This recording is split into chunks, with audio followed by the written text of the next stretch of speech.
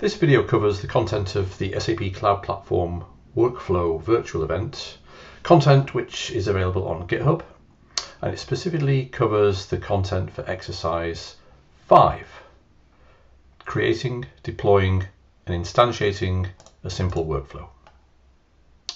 In this exercise, we're going to create a new workflow project in the SAP Business Application Studio, and we'll understand what a workflow, workflow project looks like and what components it contains. We're then going to build and deploy that project to the cloud and effectively thereby deploy the workflow definition to the cloud. We're then going to have a look at that workflow definition using the tools we installed previously on a previous exercise and we're going to create an instance of that workflow definition. After that, we'll examine the workflow instance, and then finally we'll create one more workflow instance with different data. So let's get started. The first thing we need to do is to reopen, if we don't have it open already, reopen our App Studio workflow dev space. Uh, and we can use the bookmark that we created previously. If you're just for some reason presented with a blank screen when you go to this URL, just remove the hash path to go to the overview of your dev spaces and it may be that your dev space is in a stopped state where you can actually start it again and then just jump straight into it. So the last time we created a project in a previous exercise, we dragged a directory from our local file system into the Explorer, and it was the BPM Services FLP directory. This time we're going to use a different approach to creating a new project, and we're going to use a Yeoman wizard. It's a command line tool, so we need to open a terminal. So it's worth just taking a moment to understand exactly what a workflow project looks like generally and specifically what the workflow project that we're going to create in this exercise will look like. We're creating a workflow project so that we can use graphical tools in the App Studio to define our workflow definition. But that workflow definition lives within a so-called workflow module. And that workflow module is a module that's defined as part of an MTA, a multi-target application. So from previous exercises, we'll be generally familiar with MTAs. So bear that in mind as we go through to define our workflow project. So we're going to use Yeoman as the project generator.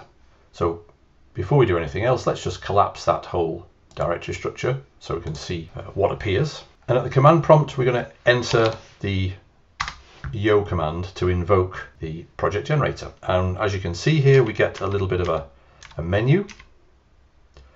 And what we want to do is generate, first of all, the outermost shell, as it were, the multi-target application. So as you can see, as described here, we want to choose the basic multi-target application option. And I'm moving up and down here with my arrow keys. The project name we should enter is order flow. And that is it as far as Yeoman's work to generate us a basic multi-target application. You can see here we've got a, a new directory, order flow, named after the project. In there, we have a git ignore file. But most importantly, we have an mta.yaml file, which currently is almost empty. It has an ID, again reflecting the project name, but there's nothing in it. There are no modules defined and no resources defined upon which you know, any modules may rely. So now we want to create the inner parts of the project, a workflow module with a workflow definition. So we're now here so still within the terminal, we want to now move into this order flow directory. Notice here, our prompt tells us which directory we're in. We can actually see that with pwd. And if I list the contents of that location where we are now, we can see that we have the BPM services directory, which is that one, and we have the order flow directory, which is that one. So I'm going to clear the screen with Control L, and I'm going to change directory into the order flow directory. Now within there, that's where we want to create the workflow module containing the workflow definition. So we invoke yo again, and this time we want to choose the workflow workflow module. The name of the module, specify order process with camel casing. The name of the workflow, call it the same name but all lowercase. And we can leave the description of the workflow blank. Now we'll get a message saying that there already is a, an MTA YAML. Do we want to overwrite that? And yes, we do in this case. Now, just a few notes. The module name is order process with capital O and capital P, and the workflow name is a lowercase version of that. We could have chosen this exactly the same name, but just to emphasize the fact that there's a difference between the workflow definition and the workflow module it lives within, we've chosen different names. In fact, a workflow module can have one or more workflow definitions inside it.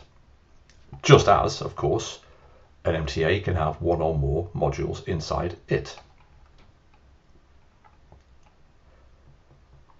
Okay, so now we can see that our workflow module has been created, order process within order flow. And if we have a look inside there, we see a number of directories that represent the different possible artifacts that belong to any given set of workflow definitions. The workflow definition itself, the order process workflow that we've asked Yeoman to create for us, is in a, is in a directory called workflows, and that's here, order process.workflow, and it's been automatically opened for us in the App Studio here. And that's what we can see in the screenshot. Before we do anything with this particular workflow definition, let's just have a look at the mta.yaml file now. Let's just close this terminal to make some more space for ourselves. So before we ran Yeoman for a second time here to create the order process workflow module, we just had these three lines in the mta.yaml. And now we have a single module called order process and we've got a single resource called workflow underscore MTA. So expanding those again, we can stare at this for a second to understand the relationship between the module and the resources, and also to understand what this module actually represents and what the resource represents. There's a little bit of editing involved, partly because it's necessary, but partly because it helps us understand the content of the mta.yaml a little bit better. Notice that this is a, a content deployment type module, and it requires a resource called workflow underscore MTA. This name here refers to the resource of the same name within the resources section. And this workflow MTA resource here describes the requirement for an instance of the workflow service. In particular, an instance of the workflow service following the standard plan. Within our trial account, we can see if we open up a new tab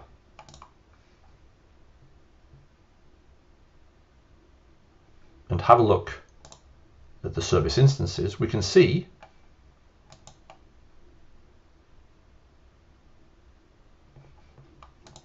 we already have a workflow instance called default underscore workflow, and it's with the light plan because within the trial account we have access to a light plan. So what we need to do, as described in the last part of this step one, is modify some of the content here. Because first of all, our workflow instance exists, And secondly, it's called default underscore workflow. So we can modify the contents of the MTA YAML to reflect that. The first modification is that we want to change managed service to existing service. Secondly, because we're not asking the deployment to trigger the creation of a workflow instance, we don't need the service plan and service parameters, but what we do need is the service name. And we can set that to default workflow. This means that this resource definition will point to an existing instance of this name, default workflow. Instead of having this parameter here, we could have changed the name here and here to say default underscore workflow. That also works. I'm going to save that YAML file. And now it's time to move to step two, where we can build the project and deploy it to the cloud. We've got to build and deploy it now, even though the workflow definition doesn't really do very much at all. It just starts and then ends, but that's fine for now. So we can use the context menu like we did in the previous exercise on the MTA YAML file and choose Build MTA. Just as before, we get a task window down at the bottom showing us the execution of what we've just asked for. And it's the same MBT tool that's been used. As you can see in this case, there's only one module and it's quite a simple module and the build has completed already. So now it's time to deploy the file that's just been built. Just like in a previous exercise, we know to look inside this newly created MTA archives directory and we'll see the order flow 001.mtar. We can again use the context menu to deploy that archive.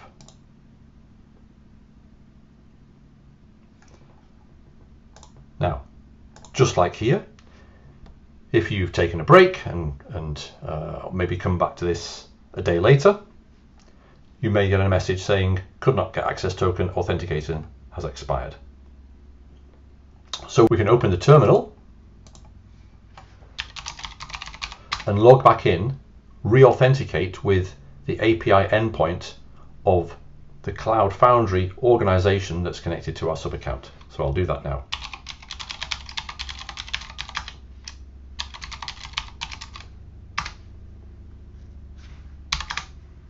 Okay, and now log back in.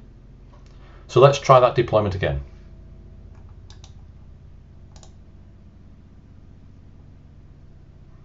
We switch back automatically to the deploy MTA archive task window and we can follow that deployment as it goes along. And the deployment is already completed.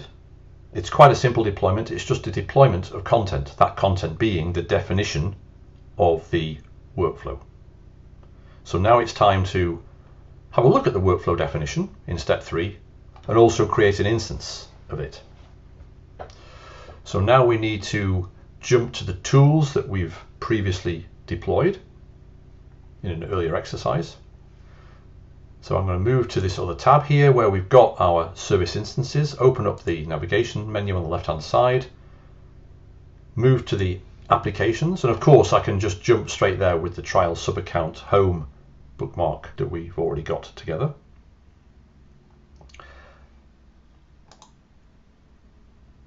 And I'm going to use the application route to take me to the Fiori Launchpad site to get to the tiles, the workflow tiles, where I can see the definitions and also eventually the instances of the workflows. So I'm going to choose the monitor workflow workflow definitions tile and I can see that we have a workflow definition order process. Notice that the version is version 1. The ID is exactly the same as the name of the workflow definition here in lowercase that we specified when we ran the Yeoman generator. And we can use the start new instance button to start a new instance. Now there's some default test data. We can use that.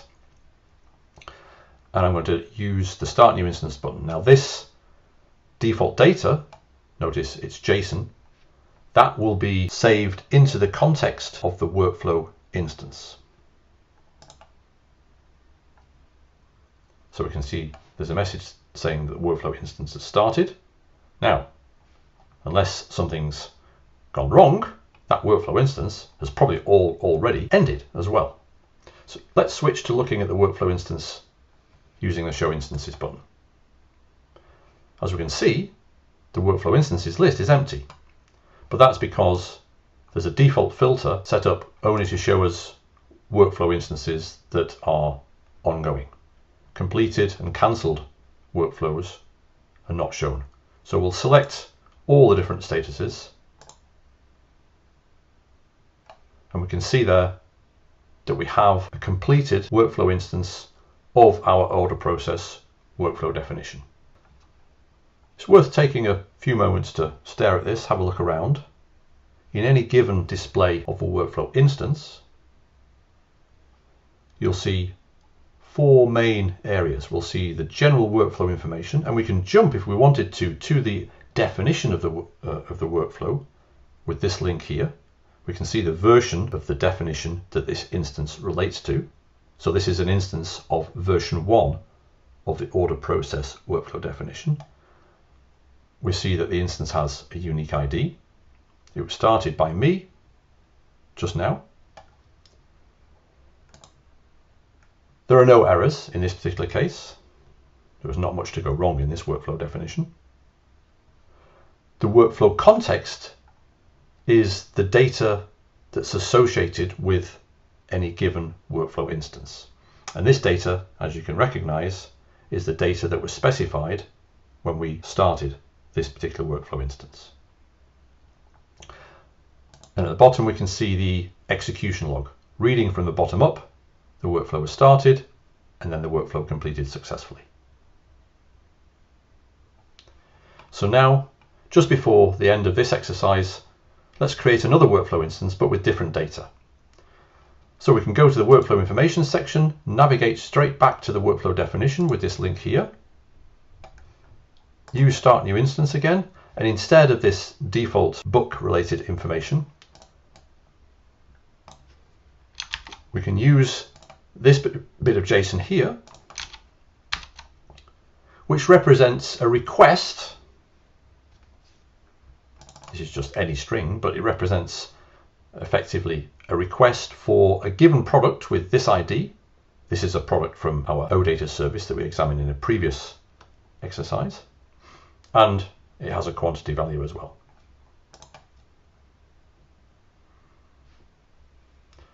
Nothing much is different but let's have a look at that instance too. Really the only difference is that the workflow context now contains what we specified when we started that workflow instance. So that's it for this exercise. We've gone through the process of bringing workflow definition from our App Studio inside a workflow module, inside an MTA. We've built that MTA, we've deployed it to the cloud platform, and then we've gone to our Fiori Launchpad site and used the workflow tools that we've previously deployed to look at that definition and create instances of it. Thanks for watching.